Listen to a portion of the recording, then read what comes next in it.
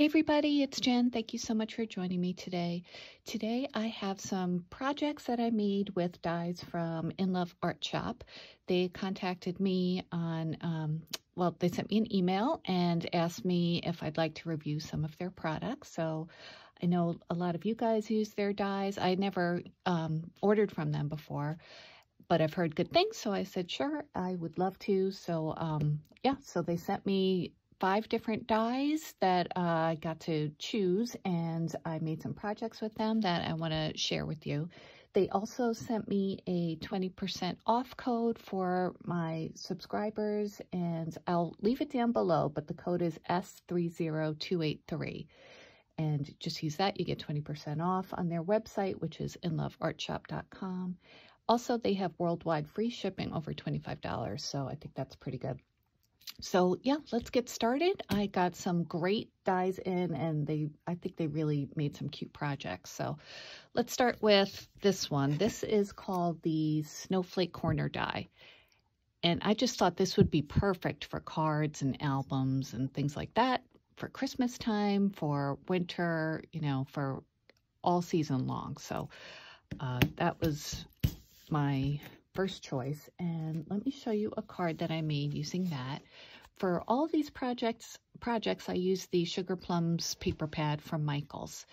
Um, and I used two of the die cuts. I put one here and then I put one over here. I cut off a little bit of it just, just to fit on that side. But um, I think it came out so cute. I used, well, I like I said, I used the Sugar Plums collection for this paper and the one behind it but for the snowflakes, I used a white pearlized paper. I'm not sure if you could see, but it is pearlized.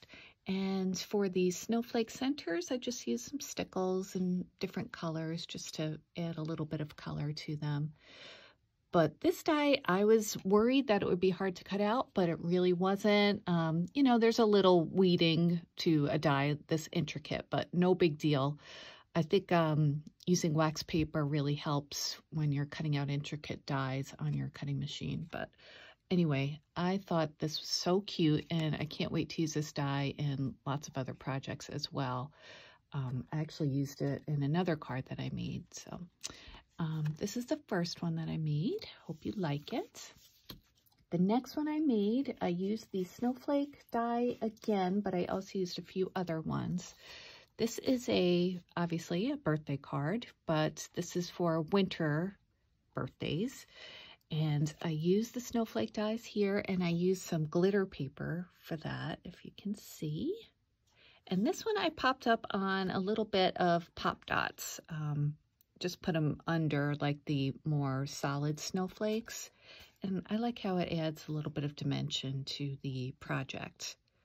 And then for this one, I just took one of the big snowflakes and cut it off of the, you know, of the grouping and then layered it with the smaller one. So you can be creative with this die and cut apart the snowflakes, cut a few apart, or just use the whole thing together. And then I used a few other of the new dies for the rest of the projects. Um, for the bow, I used this die. And this, I love bow dies. And this one I like because it's kind of flat, but you can, you know, layer it and make it a little bit bigger if you'd like. So that's what I did with this one. I cut it out of uh, vellum. As you can see, it's textured vellum. And then I used some faux leather in the back. And even though it's a thinlit die, it cut out faux leather perfectly. So I just like I said, I cut it out twice and layered it. And then I put a snowflake brad that I had in my stash through the middle of it just to hold it all together. So it came out so cute, I think. I really like this bow. It's pretty and feminine and moves around a little bit, but also cut out really well. Very impressed. Um, for the sentiment, I love this font of Happy Birthday. This is also from In Love Art Shop. And it's one big piece. Like you could see the, um, the H and the B and the Y and the D are connected. You could cut them apart easily if you wanted to, no big deal. But I do like that they're connected because, you know, sometimes you really don't want to have to deal with figuring out spacing and it's already done for you. This one also cut out really well. Let me show you those dies. This came in a set of five, and this is called um, the Greeting and Encouragement Words Dies. So this is the one that I used. Happy birthday. Again, cut out beautifully. And it also came with a few different ones. It came with hello with a border around it and some stars. It also came with this one that says dream big. This was really cute. I haven't tried this one out yet, but I'll get to it. This one says sweetheart, really pretty. This will be great for Valentine's Day or, you know, anytime you just, I mean, I call people sweetheart all year long. So, and then there's this one that says good times and it's kind of like, like a New York Times style font, which I thought was kind of cute. I also have not used this one yet, but I sure will eventually. Um, the one that says hello, I did use, so let me show you what I made with that one. Let me just move over my birthday card. Move them so you could see them. I showed them on Instagram. You might have seen them there, but it's always fun to show them on a video too. Okay, this is the card I used with the hello die. I made it a shaker. Um, as you can see, this is also with the Sugar Plums paper in the background. I just love that collection. And for the Hello, I used a gold glitter cardstock that I had in my stash.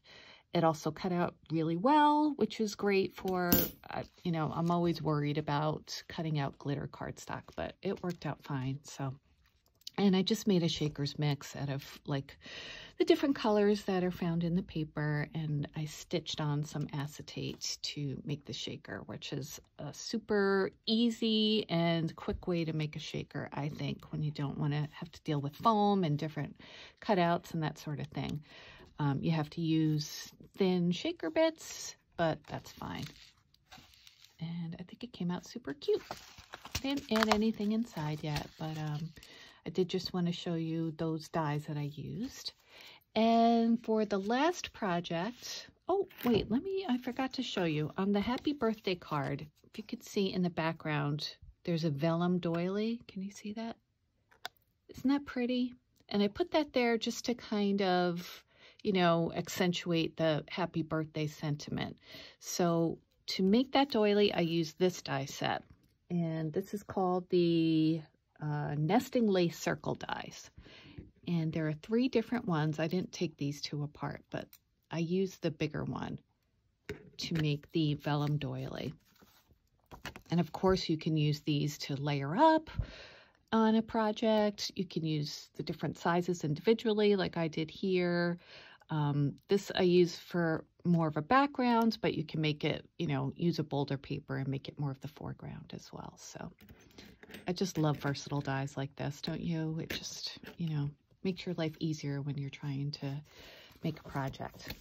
Okay, so for my last project, I used this set of dies, and again, I showed this on Instagram. This is a frame die set, and this is called Stackable Oval Dot Frames, and it comes with three different frames, and um, it does not cut out the, um, well, it cuts out the middle part is what I'm trying to say. It doesn't make like one big solid oval. And that's why it's called a frame die. So I made a few gift tags, which let me show you the first one. This I used the biggest um, oval and I used a pearlescent paper in blue for the frame. And then I just fussy cut, well, not really fussy cut. What I did to make the background, I put the die over the paper and then traced around it just with a pencil and then cut it out. That way you could just glue the, um, the frame right on top of it. So, and this, yeah, this was just a, a image that had cookies on it and I added some glossy accents just to give it some dimension. And then I added some stickles on the background as well, just in like a white snow kind of um, color. I put a bread in there, not a bread, um, an eyelet, a star eyelet, and some ribbon. And I just put a couple stickers on the back to and from. Um, I was going to, um, you could probably see through it. I tried to stamp out to and from, but it didn't look good, so I just put a sticker on top. so that's the first one. That's the largest one.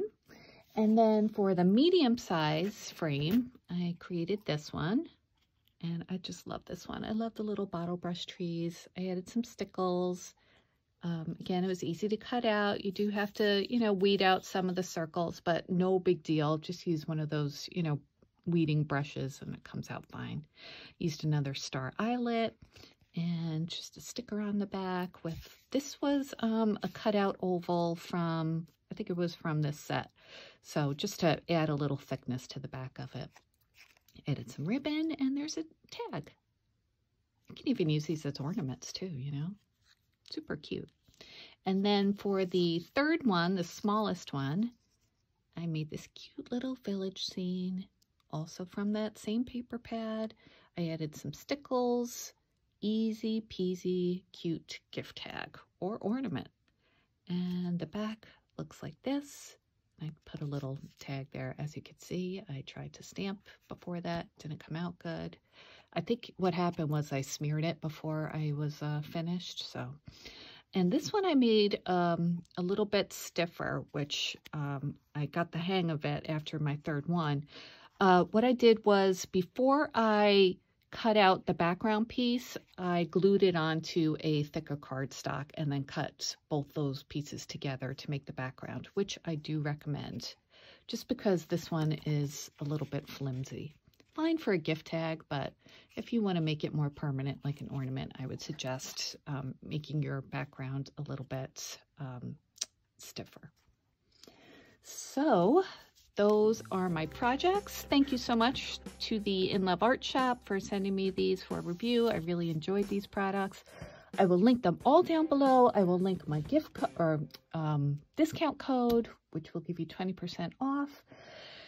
And let me know what you think. I hope you guys like these projects. Um, give me a thumbs up if you did, and I will be back soon with another crafty video. Thanks, guys. Bye.